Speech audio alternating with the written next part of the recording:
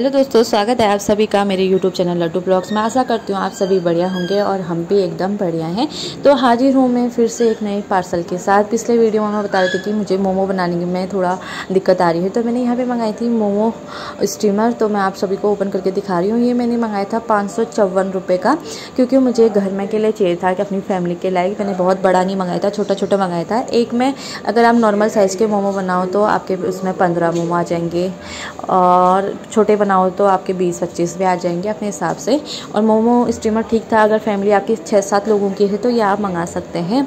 और जैसे मैं अनबॉक्सिंग कर रही थी, पहले तो मायशू बोली थी, मैं अनबॉक्सिंग करती हूँ। तो उसको फिर मैंने खाने के लिए आम दिया हुआ था। फिर भी वो छोड़ नहीं रही थी, वहीं पे थी और मैं ऐसे चिमटी को पकड़ के बोली थी कि मैं ऐसे मोमो सर्व करूँगी।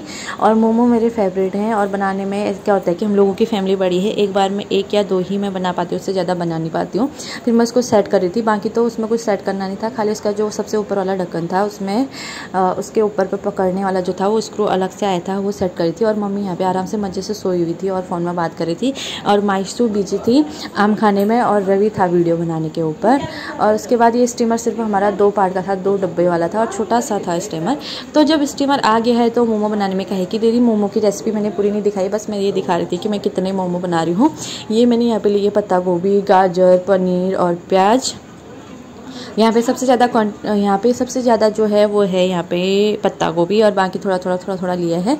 और गाजर को मैंने कद्दूकस किया है और पनीर को भी कद्दूकस किया है। और ये मैंने हल्का सा हाफ़ फ्राई किया हुआ था मसाला, क्योंकि ज़्यादा फ्राई भी अच्छा लगता। है और यहाँ पर मैंने मोमो की चटनी बनाई थी। चटनी मैंने थोड़ा डिफरेंट बनाई थी, क्योंकि लाल मिर्च से सबको दिक्कत होती थी। थोड़ा कम मैंने मिर्ची यूज़ की थी। फिर यहाँ पर मैंने बड़ी बड़ी रोटियाँ बनाई। फिर उसके बाद मैंने कटोरे की हेल्प से उसको गोल गोल कट कर लिया था, क्योंकि एक एक पूरी बनाने में बहुत ज़्यादा टाइम लगता है। तो मैंने थोड़ा शॉर्ट बनाया और पहले मैंने छोटी ट्राई की, फिर मैंने बड़े मोमो बनाए, छोटे घर में बनाने में बहुत टाइम लगता है। यहाँ पे मैंने जब स्टीमर रख दी थी तो बॉयल के लिए मैंने आलू रख दिए थे, क्योंकि सभी मोमो नहीं खाते तो जो मोमो नहीं खाएगा, उसके लिए मैं यहाँ पे को बड़ा पाव बना ली थी, इसलिए बड़े पाव के लिए मैंने आलू बॉयल के लिए रख लिए थे।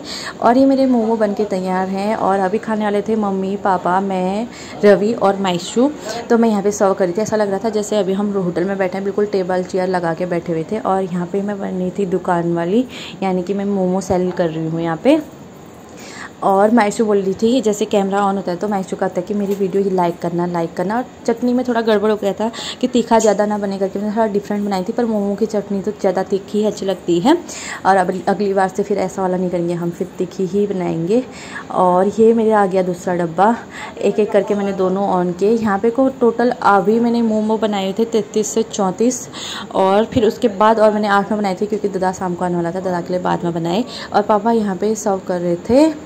कोल्ड ड्रिंक स्प्राइड और हमने यहाँ पे मोमो डबल डबल डबल बनाए थे। ये तो जितने बने थे, सब हमने खा लिए थे। फिर शाम को बनाए थे। शाम को मैंने मोमो भी बनाए, फिर बड़ा पाव भी बनाया। आगे को मैंने वीडियो रिकॉर्ड नहीं किया और माइसू की हरकत आप देख सकते हो। बोली, वीडियो लाइक करो। जैसे जैसे मैं वीडियो ऑन करती हूँ तो वैसे माइसू अंगूठा दिखाने लगती है यानी कि मेरी वीडियो लाइक करो। जैसे कैमरा ऑन होता है उसका एक ही होता है कि वीडियो लाइक करो तो वीडियो आप लोग देख रहे हैं तो लाइक कीजिए और हम सब भी इंजॉय कर रहे हैं मोमो को। आप इंजॉय कीजिए हमारे वीडियो को और थोड़ा सा इंजॉय कीजिए मेरी बेटी की हरकतों को। क्या खा रहे हो बाबू आप? क्या खा रहे हो? मोमो। क्या खा रहे हो? हाँ मोमो खा रहा है। मेरा बाबू मोमो। और क्या पी रहा है साथ में? साथ में क्या पी रहा है? इसमें क्या है गिलास में? क्या है गिलास में? जुस्सू। ठंडा। क्या है जूसो है ठंडा है? ठंडा है। घर में कुछ भी बनाते हैं तो सभी बड़े चाव से खाते हैं, पर मोमो कोई भी इतने मज़े से नहीं खाता, क्योंकि ज़्यादा किसी को नहीं पसंद। घर में मोमो खाने वाले सबसे ज़्यादा हैं रवि, मैं और भाई। भाई की ड्यूटी थी तो भाई के लिए मैंने मसाला बना के रखा हुआ है फ्रिज में। उसको मैं खिलाऊँगी कल दिन में, क्योंकि उसके दिन में तीन बजे से रात के बारह बजे तक की ड्यूटी है तो खाएगा नेक्स्ट डे उसके लिए आगे बनाएँगे।